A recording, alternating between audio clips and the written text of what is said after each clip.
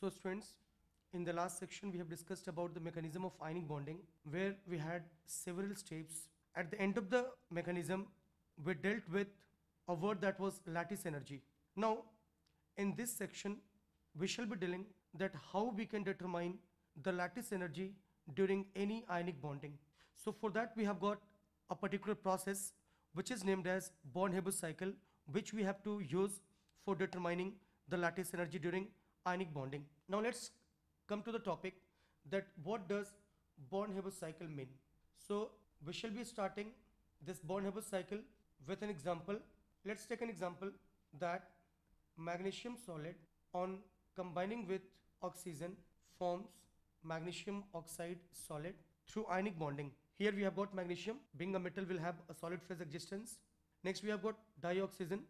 It will be having gaseous phase existence. These two will combine with each other through ionic bonding forming magnesium oxide which will be a lattice. So basically when there will be formation of magnesium oxide as a lattice there will be involvement of some certain energy which we call as lattice energy and that energy has to be determined through the help of Born-Haber cycle. So firstly, let's come to the mechanism that how this ionic bonding between magnesium and oxygen take place. So as already we have discussed in mechanism that firstly, that is in the first step, magnesium solid will be converted into magnesium vapor means gas.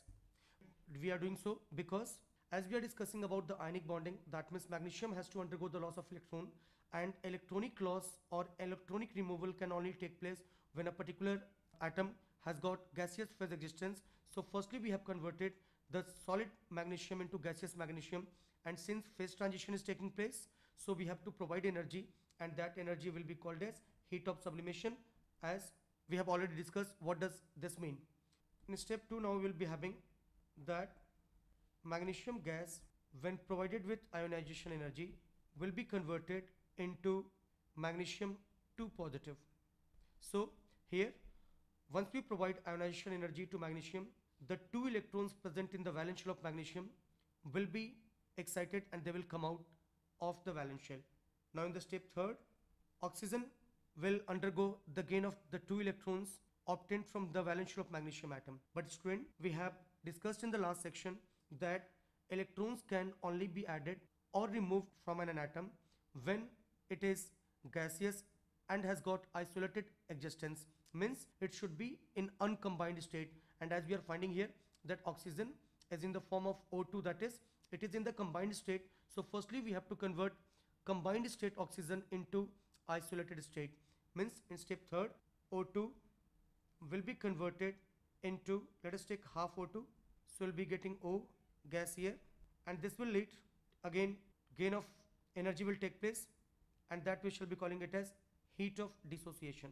Now in the next step that is in the step 4 the electrons of magnesium will be added to oxygen O2 negative and since electrons are being added to the valence shell of oxygen atom so that will lead to the loss of energy and that will be called as heat of electron gain.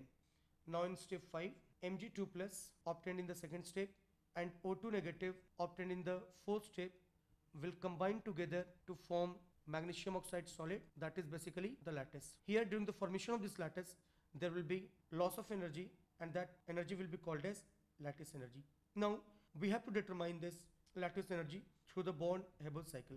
So let's come to know what does Born-Haber cycle mean. Basically we are finding here that when magnesium and oxygen in this example combine together to form magnesium oxide through ionic bonding we are following here five step now when we represent the mechanism and the overall reaction as here we are finding that the reaction has been represented in only one step. That is the overall representation of reaction is this. Now in the next way we are finding here that we are representing the same reaction by using its various steps involved. That means we are involving the mechanism. So when we consider the one step process and the mechanism and by using both the two when we represent these in the form of a cycle then that will become Born-Haber cycle. Means if I write the same process as magnesium solid is being converted into magnesium gas that will be done by the provision of energy which is called heat of sublimation. In the next step, magnesium gas on the provision of ionization energy will convert into magnesium 2 positive. Similarly, we have got O2. This has to be converted into uncombined state that is O by the provision of energy which we say heat of dissociation. In the next step, when we add electrons into oxygen atoms that will lead to the release of energy that is heat of electron gain and that will form O2 negative. When we combine these two, will undergo the formation of magnesium oxide solid and this will lead to the loss of energy which is called lattice energy. Now this has been created on the basis of the mechanism involved during this ionic bonding which we have already illustrated. Now if we consider the whole process as a one step process then we can write it as that magnesium plus oxygen are combining together to form magnesium oxide. So here we are finding that once we consider only one step process of this reaction and if we consider the mechanism by using the together we are finding that uh, there is a cyclic form. So the cyclic form representation of a process will be called as Born-Haber cycle and this has to be utilized in the calculation of lattice energy. So again when we represent the overall reaction in one step there will be involvement of some energy which we are calling it as delta HR. That means heat energy or energy involved in overall process of the reaction. So we can define here that Born-Haber cycle is the cyclic form representation of a process by using one step process of overall reaction and mechanism of reaction. So we have already observed here that the same reaction which we have discussed earlier using its mechanism and one step process by using its one step process and mechanism we are finding a cyclic form. So this cyclic form will be called as Born-Haber cycle. Now using Born-Haber cycle we have to determine this lattice energy that is U.